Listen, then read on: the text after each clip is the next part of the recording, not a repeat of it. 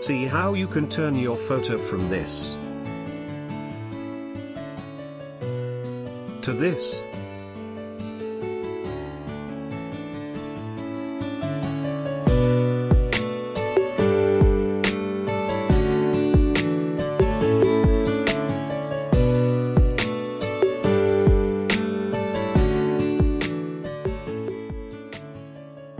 First, open your image in Photoshop.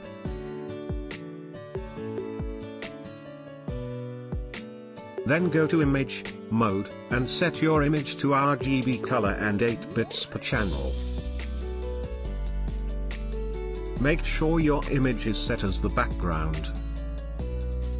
You will see a padlock beside it. If your image is not set as the background, you need to go to Layer, New, Background from Layer. Now go to Window and click on Actions.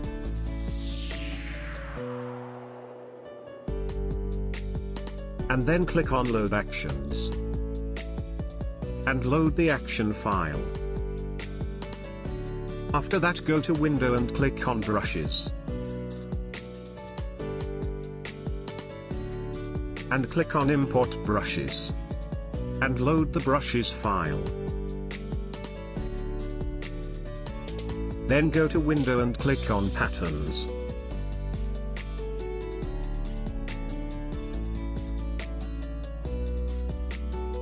And click on Import Patterns. And load the pattern file.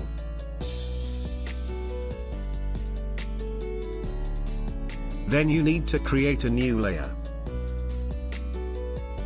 And rename it to A, J.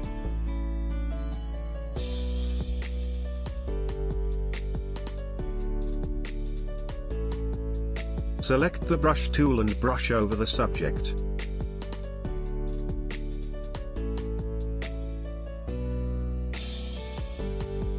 Now select the action and hit the play button.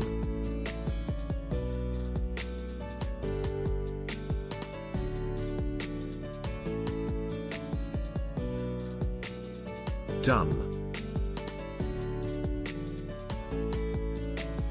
Customize the layers as per your requirements.